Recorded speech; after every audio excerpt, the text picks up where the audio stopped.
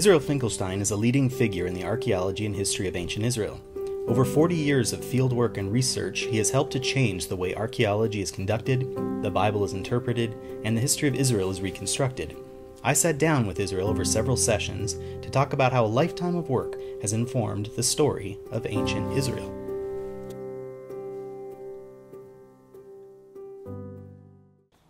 Welcome back to Kiryat Yarim, Israel. Happy to be back. Today we uh, are speaking about a topic that in many ways we've been building up to for, through most of this conversation. And in one way or another, it's been weaving through all of our previous conversations. That is the Deuteronomistic history. This big word is a very important part of, of the Bible as we know it today. So start by telling us what exactly is the Deuteronomistic history, and then we'll start to tear it apart. The Deuteronomistic history is a theory, is a notion of biblical scholars who noticed long ago the similarity in uh, ideas, ideology, language in several books of the Bible, starting with the book of Joshua, but in fact with the book of Deuteronomy. But Deuteronomy is low, and then we shift to history, quote unquote, in Joshua, Judges, the two books of Samuel, and the two books of Kings, meaning from the conquest of Canaan to the fall of Jerusalem uh, under the Babylonian assault. This is the part which is described by biblical scholars as the Deuteronomistic history, and they call it Deuteronomistic history because of the uh, relationship to the book of Deuteronomy, uh, ideology, theology, and, uh, and language. Of course, the books of the Deuteronomistic history are preceded by another piece of history in the Bible. I refer here to the story of the patriarchs and the story of Exodus in the Pentateuch. So uh, the question is uh, how to deal uh, with the relationship between the two parts. I am not going to go into details today about this, just to say that one can trace Deuteronomistic uh, hand also in, the, in several places in the Pentateuch for sure. And uh, one can uh, argue that there was a moment, perhaps in late monarchic times, some would say later, that uh, these books were conceived together as telling the story of the history of ancient Israel from the very, very beginning all the way down to the destruction of Jerusalem in any event, today, when we speak about the Deuteronomistic history, we speak about the block from Joshua to Kings. Would you call the Deuteronomistic history history? Well, this is one of the most important questions. It is not history as we relate to history today. The idea is not to tell you exactly what happened. The idea is to convey ideology, to convey theology to tell you about the relationship of the God of Israel to the people of Israel and the history of Israel, so to speak, or the fate of Israel. The idea is to tell you about, about the importance of the Davidic dynasty uh, in the life uh, of the people of Israel. The idea is to uh, tell you about the centrality of Jerusalem and the importance of the temple in Jerusalem. So from these from this point of view, it is not really history as we describe history, not even as Herodotus describes history. But it is history in the sense that it gives you the ideas of the people, of the composers, in my opinion, first in late monarchic times, their idea, ideas about uh, what happened, uh, in fact, uh, in the past, how did the past uh, lead to the present, which means to their time, and also their ideas about perhaps uh,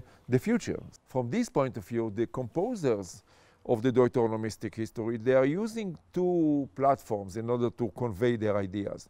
One platform, of course, is the law in Deuteronomy, and another platform is their way of understanding history. You talked about the Deuteronomistic history being a, a theory of biblical composition by modern biblical scholars. Uh, many of these scholars also posit that there are, are, multiple versions of the Deuteronomistic history that kind of get put together. How many do you see? So the idea of a Deuteronomistic history comes from Martin Noth, a German scholar, a great biblical scholar, who uh, was uh, active in the middle of the 20th century. But in fact, without calling it Deuteronomistic history, the idea comes from the beginning of the 19th century, from one, some of the earliest biblical scholars, such as uh, De Wette, and in a way, of course, uh, Wellhausen, uh, in the 19th century. Now, there are several questions here. First of all, how many editions are there uh, of the Deuteronomistic uh, history, which means uh, the composition and the redactions uh, of the story. And the second, I should say, when uh, was it composed for the first time? And uh, here there are several different versions. Martin Noth was of the idea that the Deuteronomistic history is a work of exilic times. After the destruction of Judah, the need to explain what exactly happened. And he saw all this as one story telling uh, uh, the fate of Judah after the destruction by the Babylonians in 586 BC.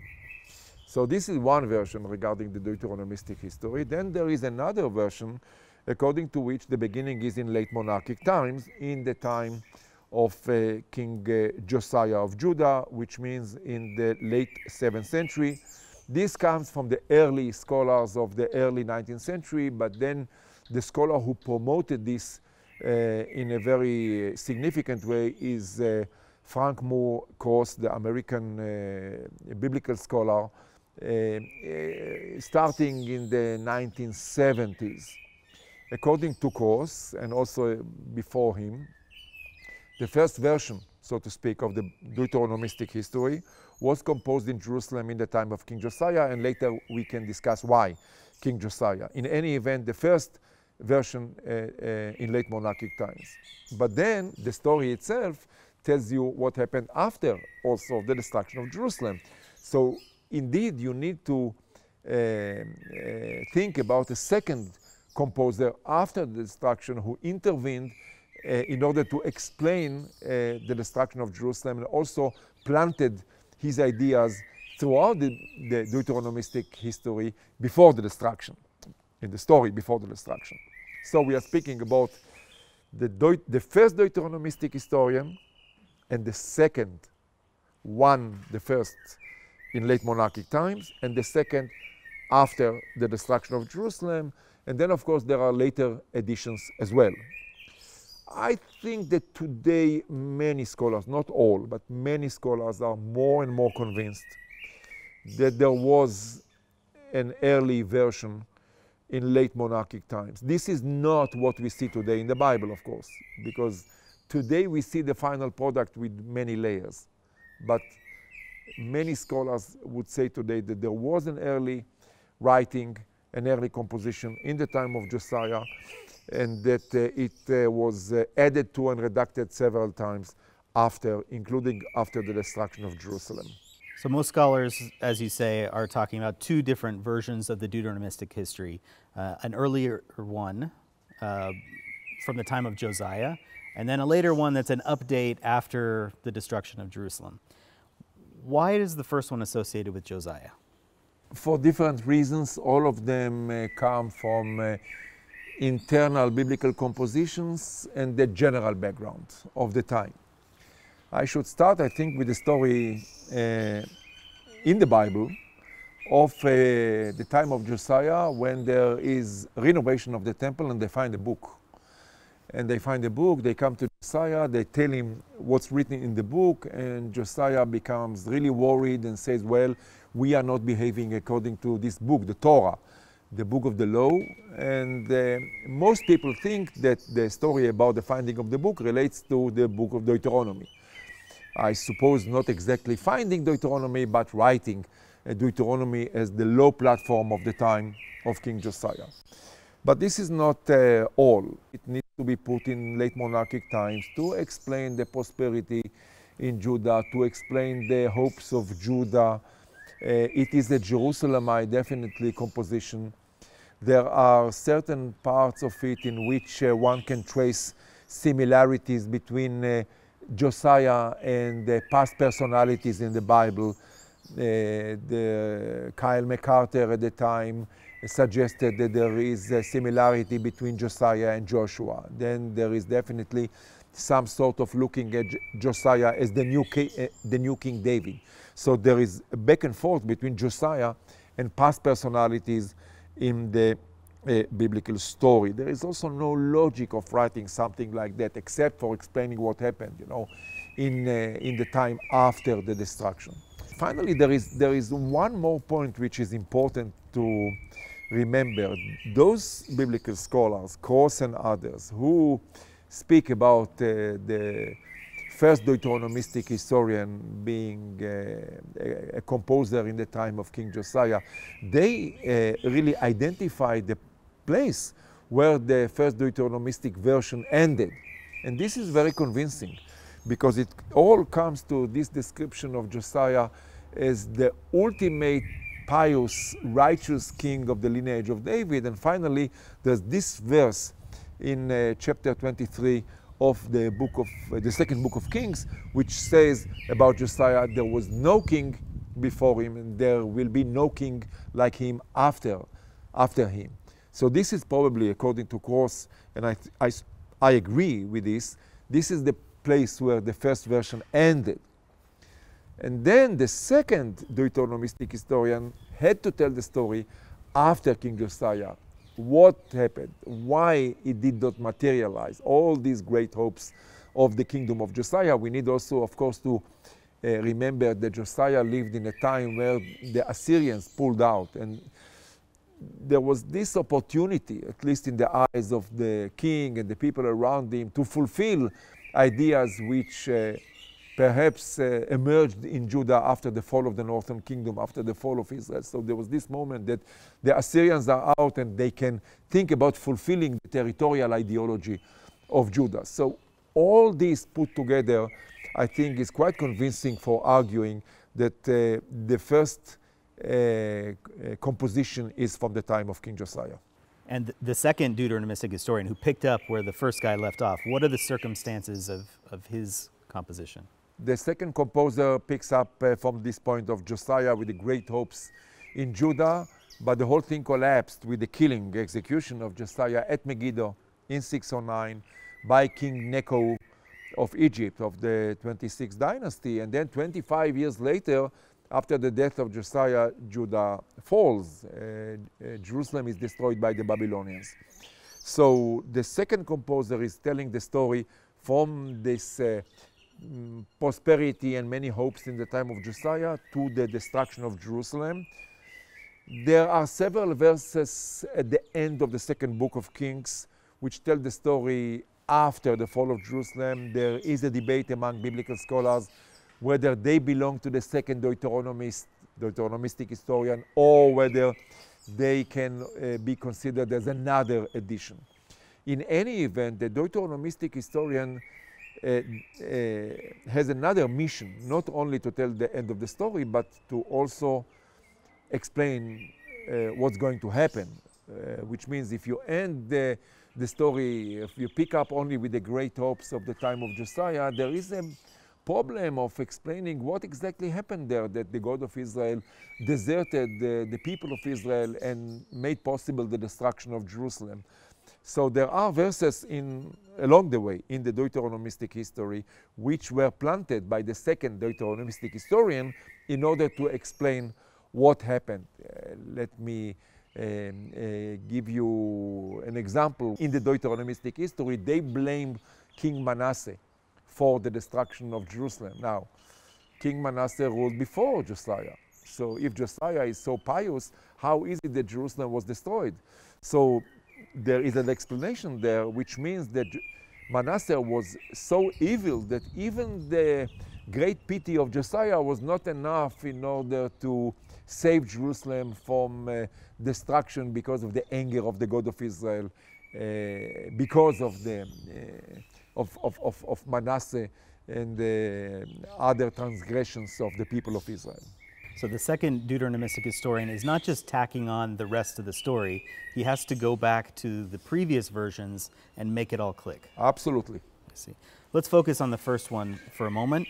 Uh, where did the first Deuteronomistic historian get his materials?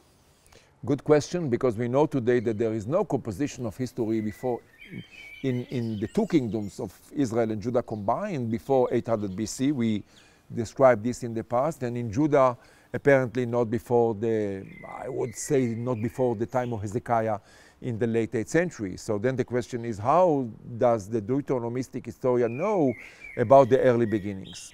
This is a complicated question. I will try to answer it very, uh, in, in a very concise way. I would say that first of all, uh, uh, the Deuteronomistic historian had access to material that came from the north. And in the north, we have indications for possibility of composition in the first half of the 8th century. So the first half of the 8th century, 800 BC, is closer to the beginning than, let's say, 700 BC.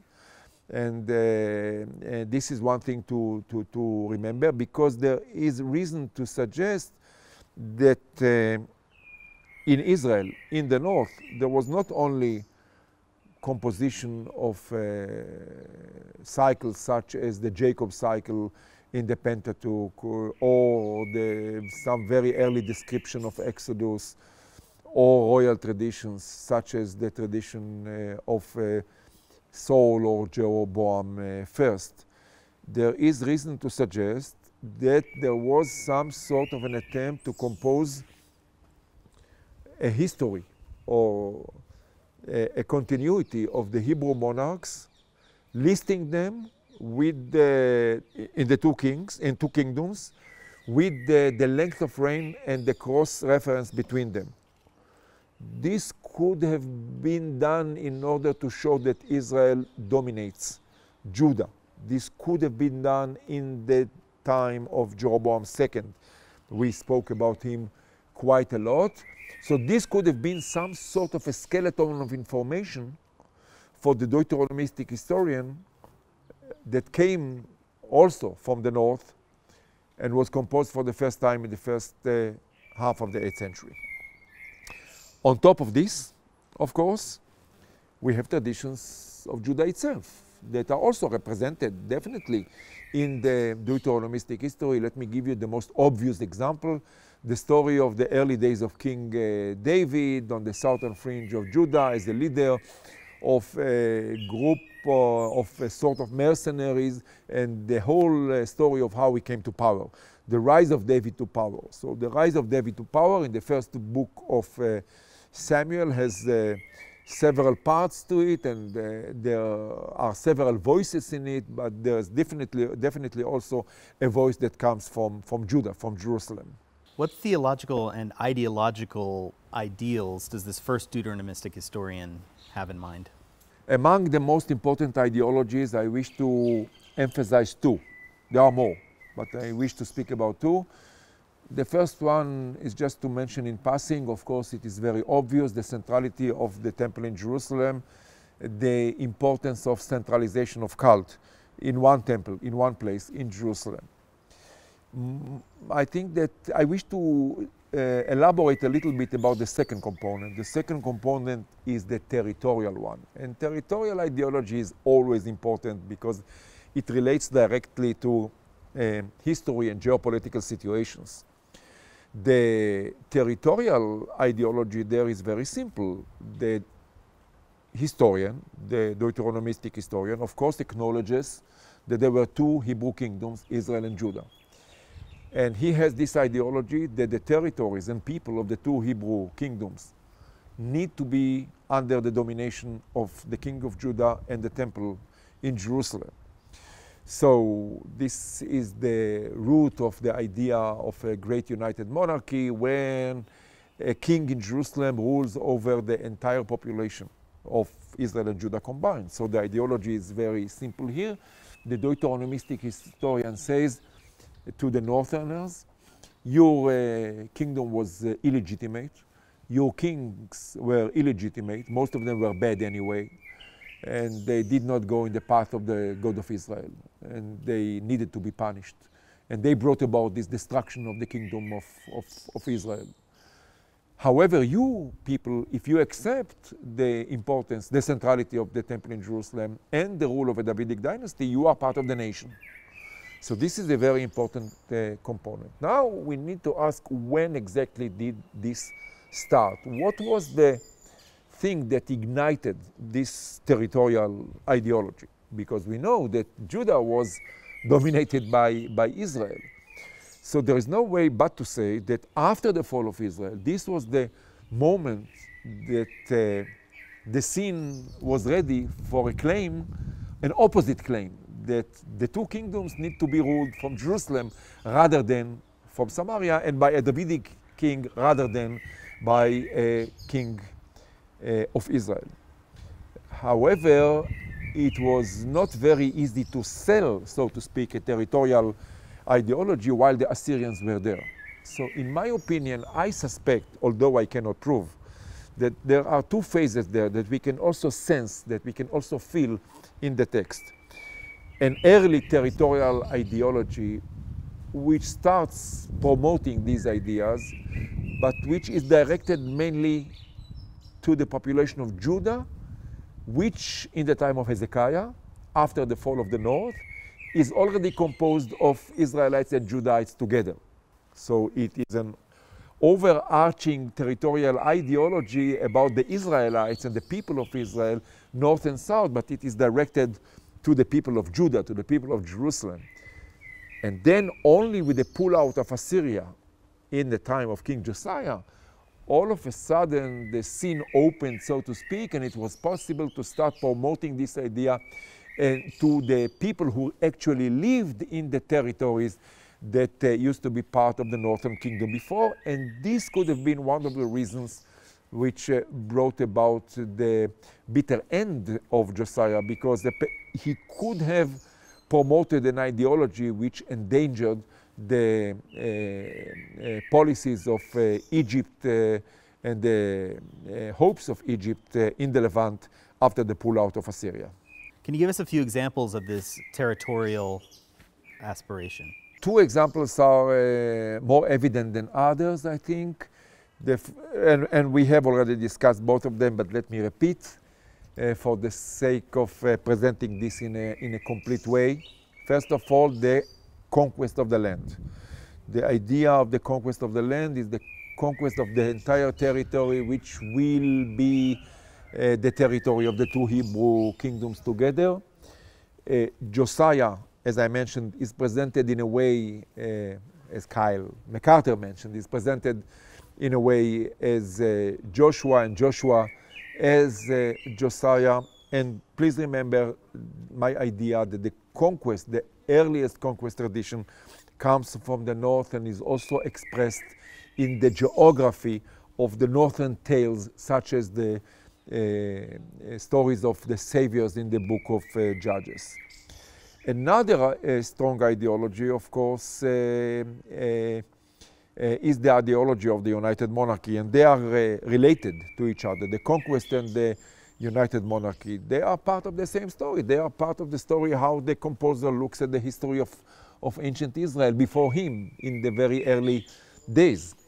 So there's this description of an ideal, uh, great uh, united monarchy ruling over big territories from this uh, wonderful city of Jerusalem with palace and temple in the time of David and more so even in the time of uh, King Solomon, the great builder uh, in Jerusalem. We need to acknowledge that Josiah is uh, described as the one who is going to, fulfill, to re-fulfill this uh, united monarchy. The ideology there is very simple. There was this great united monarchy. The people of Israel sinned especially Solomon, in the later days of his reign. And because of that, that the God of Israel decided to break uh, the united uh, monarchy and made Israel um, uh, to uh, quit to establish its own uh, kingdom in the north. Uh, however, here comes a time that Josiah will be able to re-establish the great united monarchy from a wonderful city, Jerusalem, and really bring about the ultimate prosperity under the rule of the God of Israel and the law uh, of the God of Israel. This ideology, too, in my opinion, comes from the north, not in the full sense of what I have just described, but from the sense of the central idea in it. I think that there was a moment in the history, I'm just repeating what we have already discussed, there was a moment in the history of the two kingdoms when Israel ruled over Judah and in fact established some sort of a great united monarchy, but it was ruled from Samaria in the first half of the 8th century. And this was very well known to the composer, to the author of the Deuteronomistic uh, history. For it was well known to the author of the, the Josianic uh, author of the Deuteronomistic history. He took it and simply changed it uh, and uh, expressed it in a different way in order to show and promote the idea of a great united monarchy ruled from Jerusalem by a Davidic king. When we look at the Deuteronomistic history as a whole today, we're also drawn into reading the Pentateuch as part of the overall story. Are there any of these Deuteronomistic ideals present in the Pentateuch? Sure. Uh, we uh, have not discussed maybe enough the uh, Judahite, the southern patriarchal tradition of Abraham and in a way also Isaac, but especially Abraham. Uh, there is a dispute in biblical scholarship about the uh, rise of the character of Abraham. About Jacob, there is some sort of an understanding that this is an early tradition that comes from the north and from the 8th century. But what about Abraham? Abraham is the patriarch of the southern highlands, not so much Jerusalem, but the area of Hebron, the area of Mamre. The central uh, shrine was probably at Mamre, the original tomb of the patriarch was there.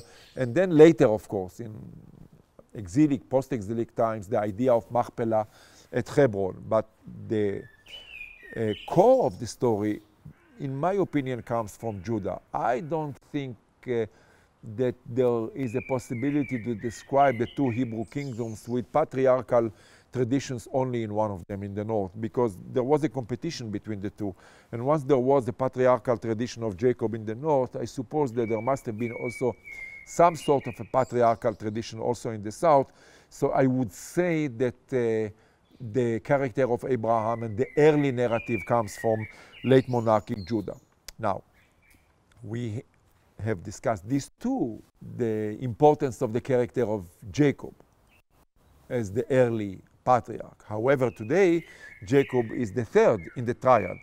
The, it starts with Abraham and goes to Isaac and goes to uh, Jacob. And we also mentioned that uh, the composer, the author, makes Abraham go to shrines in the north and makes Jacob go to places in the south. The question then is the time of composition of the patriarchal narrative together as a triad Abraham, Isaac, Jacob. And this, I think, comes from the time of late monarchic Judah and is part of the message to show the dominance of Judah, the centrality of Judah, the importance of Judah uh, in the ancient Hebrew traditions.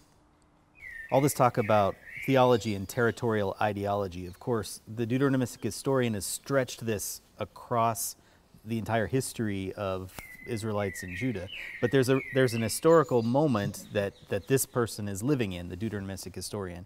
And so, how do what's the intersection between the history of his day and this territorial ideology? This is the moment when uh, we can really compare ideology to history and see the difference between the two genres. Uh, they are completely different, and there is no way to, to judge between the two. Look, the, the best way to look at these things is to describe the Assyrian century in the history of Judah, and this has been done by uh, my uh, uh, colleague and friend Nadav Naaman in a, in a very brilliant, I think, way. We have three, main, mainly three monarchs at that time in Judah, starting with Ahaz, and then Hezekiah, and then Manasseh. Ahaz is the king of Judah in the time when Judah is incorporated into the Assyrian Empire. Hezekiah later uh, rebels against uh, Sennacherib, and Manasseh is the one who brings uh, Judah back to life after the big destruction of parts of the uh, kingdom by Sennacherib in 701 BC. So the Bible describes Ahaz as a sinner, and Hezekiah as a pious king, and Manasseh as the ultimate sinner. However, this is theology. When we look at history, we see the opposite. It's like an opposite mirror. Ahaz uh, was very clever not to rebel against Assyria, and because of him, Judah managed to survive. Hezekiah took a terrible decision, a, a, a fateful decision, and brought about uh, almost the final destru destruction of the kingdom in 701 from the hands of Sennacherib. And Manasseh, who is described as the ultimate villain, in fact is the one who brings uh, Judah back to life and brings about the big prosperity incorporation into the Assyrian economy. So we see here the tension between ideology, or better said, theology and the historical facts. Let's uh, talk a little bit about cult and cultic reforms, especially during this uh, late Assyrian century and, and thereafter. Uh, we talk about cult reform in the days of Hezekiah and cult reform in the days of Josiah. Give me some archaeological context to these biblical theological statements. Indeed, uh, this relates to one of the main pillars of the uh, Deuteronomistic ideology, uh, the centrality of Jerusalem, centralization of cult in Jerusalem. The Bible describes indeed two cult reforms in the time of Hezekiah in the time, and in the time of Josiah.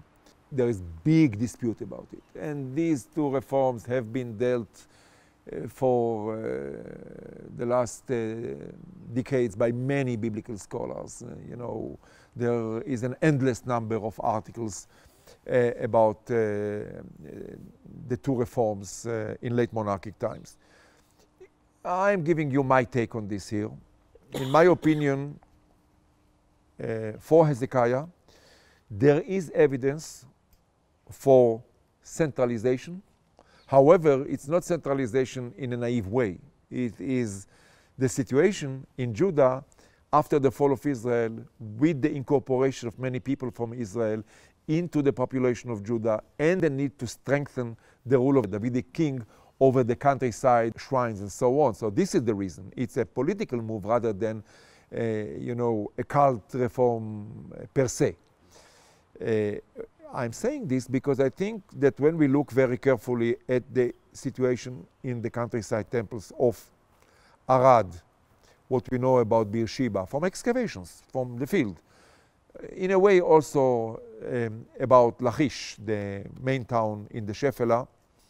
I think that in these three places there are indications for cessation of activity in the shrines uh, before 701 BC, before 701, which means in uh, the late 8th century BC. So I would say that this can be related to Hezekiah, who came to the throne in the late 8th century BC.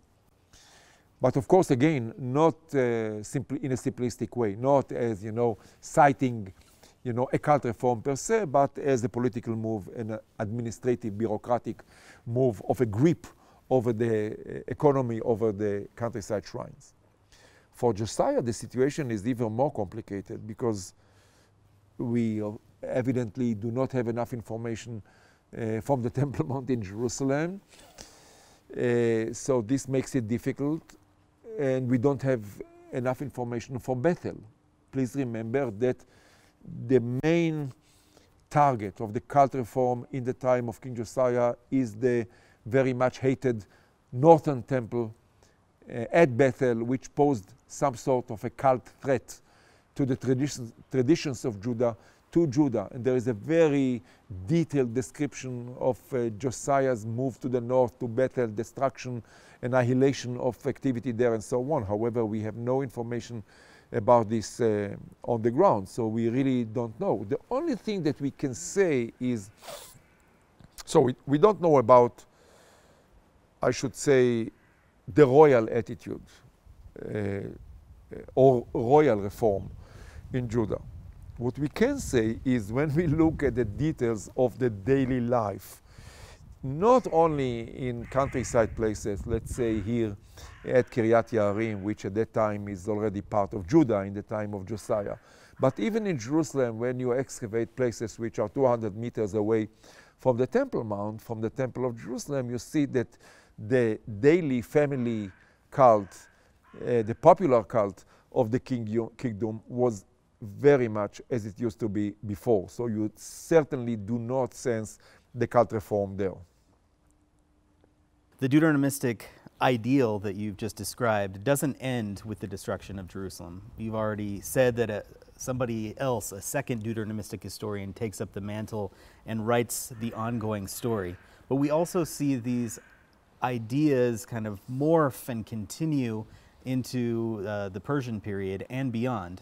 So next time we're going to be talking about the uh, late biblical historiographic literature of Ezra, Nehemiah, and Chronicles. See you next time. See you.